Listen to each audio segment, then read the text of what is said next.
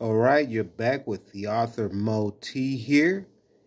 And y'all want to hear a little bit of truth? All right, I'm going to bring it to you this evening on this Sunday evening.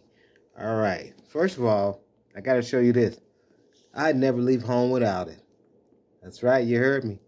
I never go anywhere now without it.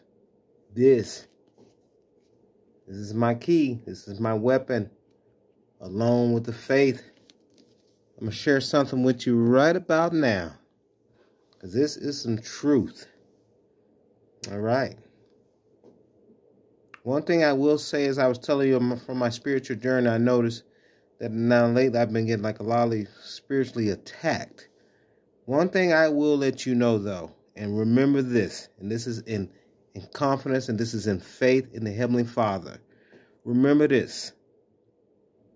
God's will will always outdo the devil's work. You've heard it correctly. God's will will always outdo the devil's work. So I have no fear. I only have fear in the Heavenly Father because He is my protection. He is my strength. He can be your strength. God can do all things through His will and your and His belief. You believe in Him. The powers in the faith. That's right. You've heard from Brother Mo T. Take it in. And I'm leaving you with one more thing. For those out there that's in this world doing in a worldly thing and they're trying to go and look for the get on this what's that the kind of like when you walk in the spiritual realm, the spiritual realm and everything. Mm-mm, let me tell you the spirit realm will come to you when you start seeking the Heavenly Father because they even know that God is the King, the light of everything, living or dead. God has authority over all. So take it in. God is a safe passage.